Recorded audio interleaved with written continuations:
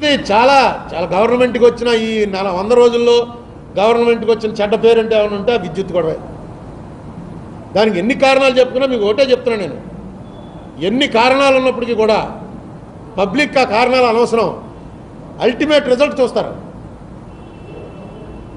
అల్టిమేట్గా రిజల్ట్ అనేది power cut ఉంటే పవర్ కట్కి ఇది కారణం. చంద్రబాబు టైంలో అయింది అంతకుముందు మోడీ టైంలో అయింది లేకపోతే మన్మోహన్ సింగ్ టైంలో అయింది ఇవన్నీ చెప్పి అవన్నీ నిజమైనప్పటికీ పబ్లిక్ అది అనవసరం. మీరు డెలివరీ చేస్తున్నారా లేదా? విద్యుత్ విషయంలో మాత్రం నాలుగు రోజుల నుంచి పవర్ కోట్లు రెండేసి గంటలు రెండు నాకు తెలిసి నేను వెంటనే ఫోన్ చేసి అడిగాను. వాళ్ళు నాకు కన్విన్సింగ్గానే చెప్పారు. ఇవి ఇవి కారణాలని నిన్న ఇప్పుడు పేపర్లో కూడా వచ్చింది. రేపు నుంచి ఉండదన్నారు. రేపంటే ఈవేళ ఈవేళ నుంచి ఇంక ఉండదండి. ఎక్కడ అక్కడి నుంచి తెలంగాణ నుంచి తెప్పిస్తున్నాం బొగ్గు తెప్పిస్తున్నాం అది తెప్పిస్తున్నాం అని చెప్పారు. కానీ ఆ కొన్నాళ్ళకి మర్చిపోవచ్చు. బట్ ఆ టైంలో మాత్రం చాలా విపరీతమైన వ్యతిరేకత వచ్చింది. నేను ఇంకోటి ఏం చెప్పాలనుకున్నానంటే ఈ ప్రభుత్వానికి ఈవేళ మీరు fifty one percent of votes తోటి అధికారంలోకి వచ్చారు. అవతల టీడీపీ వాళ్ళు నామమాత్రం అయిపోయి ఇరవై మూడు సీట్లు ఎన్నో వచ్చాయి. ఇది చూసి మాత్రం మీరు ఇదేదో శాశ్వతం అని అనుకోకండి. మీకు రెండు ఉదాహరణలు చెప్తాను.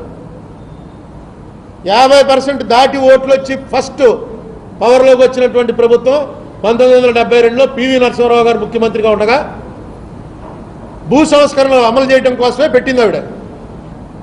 ఇందిరాగాంధీ. ఆయన వచ్చి ముఖ్యమంత్రి తీసుకుని భూ సంస్కరణలు అమలు చేస్తామనే ప్రామిస్ తోటి ఎలక్షన్కి వెళ్ళాడు. రెండు వందల పంతొమ్మిది సీట్లు గెలిచాడు. యాభై ఒక్క పర్సెంట్ ఓట్లు వచ్చాయి. తొమ్మిది నెలల్లో దింపేశారు. తొమ్మిది నెలల్లో దింపేశారు. మళ్ళీ అలాంటి అకేషను పంతొమ్మిది వందల తొంభై నాలుగులో ఎన్టీ రామారావు గారు కమ్యూనిస్టులు కలిసి వెళ్ళారు. యాభై ఐదు పర్సెంట్ యాభై నాలుగు పర్సెంట్ ఓట్లు వచ్చాయి ముగ్గురికి కలిపి. ముప్పై నాలుగు సీట్లు వచ్చాయి సిపిఐ సిపిఎంకి. రెండు వందల పదమూడు సీట్లు ఎన్టీ రామారావుకి వచ్చాయి. కాంగ్రెస్కి ఇరవై ఆరు వచ్చాయి. గుర్తుంది కదా? రెండు వందల తొంభై నాలుగు సీట్లో. మళ్ళీ అంతే సరిగ్గా తొమ్మిది నెలలకు దింపేశారు.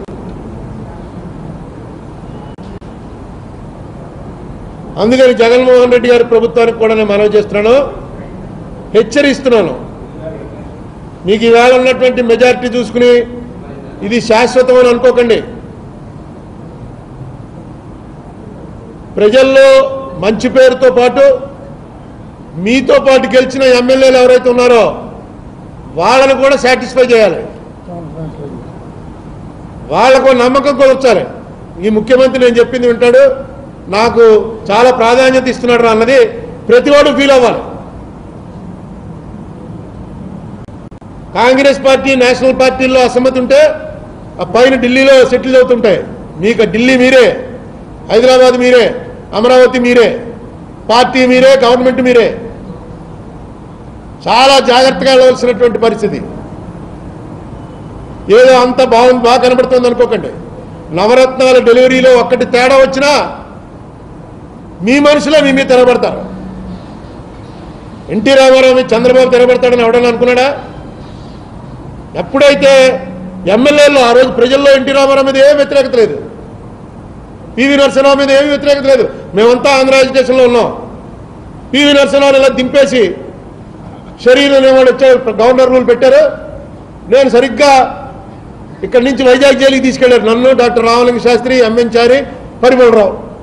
మమ్మల్ని నలుగురిని ఇక్కడ త్రీ టౌన్ పోలీస్ స్టేషన్ నుంచి వైజాగ్ సెంట్రల్ జైలు తీసుకెళ్తుంటే అనకాపల్లి దాకా వచ్చారు నాలుగు బస్సుల్లో జనం జైజైలు కొట్టుకుంటూ. అనకాపల్లి దగ్గర సిఆర్పి వాళ్ళు ఆఫ్ చేసి వెనక్కి వెళ్ళి పంపించేశారు. వచ్చాం. పీవీ గారిని నింపి షరీన్ గారు వచ్చేసాడు మార్చి రెండో తారీఖు నన్ను రిలీజ్ చేశారు వైజాగ్ జైల్లో. చేతిలో సంచట్టుకుని ద్వారకా నగర్ దాకా నడుచుకుంటూ వచ్చి అక్కడ రిక్షా ఎక్కి వైజాగ్ స్టేషన్కి వచ్చి ట్రైన్ ఎక్కి ఇంటికి వచ్చాను. ఎవడో మొహం చూసేవాడు కూడా లేడు ఆ ఉద్యమం ఆంధ్ర ఉద్యమం అదే మరోటో కాదు. పీవీని దింపేసే ఉద్యమం. అప్పుడు పోయిన ఈ ల్యాండ్ సీలింగ్ యాక్ట్స్ ఇవన్నీ ల్యాండ్ రిఫార్మ్స్ ఇప్పటికి కూడా ఇంక మళ్ళీ దాన్ని నోరెత్తిన వాడు లేడు. పబ్లిక్ అంతా అంత ఓట్లు వేసినా సరే మళ్ళీ దాని ప్రసక్తి ఎత్తితే మళ్ళీ దెబ్బతినేస్తాం రాని. ఎవడో నోరెత్తల. మొన్న రాజశేఖర రెడ్డి చిన్న అటెంప్ట్ చేశాడు. నా భూమి నేను ఇచ్చేస్తున్నాను అలాగే మిగతా వాళ్ళ దగ్గర కూడా తీసుకుంటాను. శుభ్రంగా చెత్త కొట్టి వదిలేశారు. పేపర్లో పెద్ద హెడ్లైన్స్లో రాసి ముందు రాజశేఖర్ రెడ్డిని అరెస్ట్ చేయాలి జైల్లో పెట్టాలి. ఇంతకాలం భూమి ఎందుకు దగ్గర పెట్టుకున్నాడు? మనం అందరం చూసాం కదా? గతంలో జరిగినటువంటి వాటి నుంచి పాఠాలు నేర్చుకుని ఎవరైతే ప్రవర్తించగలడో వాడే నాయకుడు అవుతాడు. అనదాకా వచ్చిన తర్వాత దాన్ని ఎలా ఫేస్ చేశాడంటే అది కాదు నాయకత్వం. చరిత్రలో జరిగినటువంటి ఎక్కడెక్కడ అపశృతులు ఉన్నాయన్నవి తెలుసుకుని దాన్ని ఫేస్ చేసేటువంటి కెపాసిటీ నడవాలి.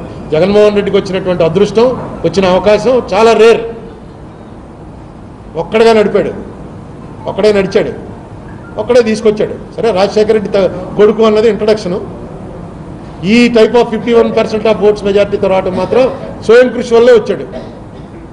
ఇప్పుడు పెద్ద సినిమా అనుకున్నది చిన్న తేడా ఉన్నా సరే చిచ్చిచ్చి ఏం బాగుందండి అంటారు. అలాంటి పరిస్థితి అయింది.